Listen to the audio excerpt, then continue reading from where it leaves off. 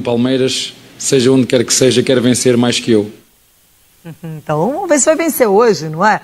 Agora, quem também está passando por problemas seríssimos por lesões, falta de jogadores titulares é o Flamengo.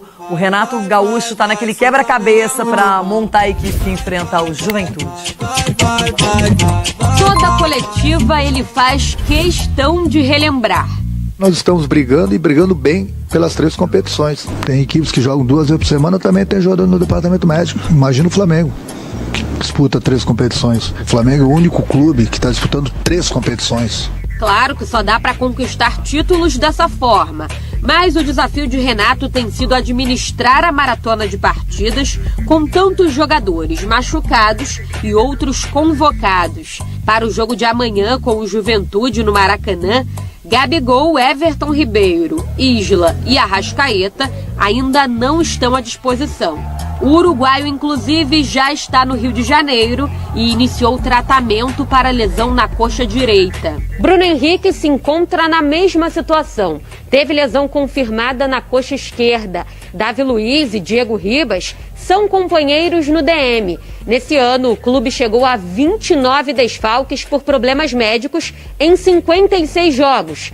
Mesmo número de baixas do Palmeiras, rival na final da Libertadores. Chape, São Paulo, América Mineiro, Grêmio e Inter são os clubes que mais tiveram jogadores lesionados nessa temporada, acima de 30. O jogador pode machucar subindo no ônibus. O futebol é contato. O Flamengo tem uma decisão cada três dias. A gente vive dentro de avião, dentro de hotel. O desgaste tem sido muito grande. Se você for fazer, pegar os números nessa sequência, os jogadores que estão na seleção brasileira vão chegar a 95 jogos. É muita coisa, quando a média é 55, 60 jogos. A gente não poupa o jogador. Nós deveríamos poupar justamente por isso. Justamente por isso. Eu tenho colocado jogadores em campo sem ter as melhores condições. Eu estou arriscando. O goleiro Diego Alves sofreu um trauma no pé e o zagueiro Gustavo Henrique um edema na coxa. Apesar disso, os dois já estão treinando normalmente com o grupo.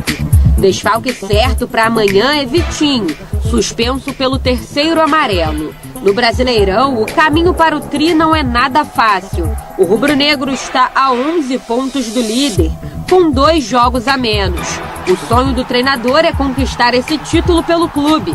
Renato deu a volta olímpica como jogador em 87. É um título que eu não tenho ainda como treinador, o título brasileiro. Eu espero que agora com esse grupo, eu como treinador, a gente possa realizar mais um sonho.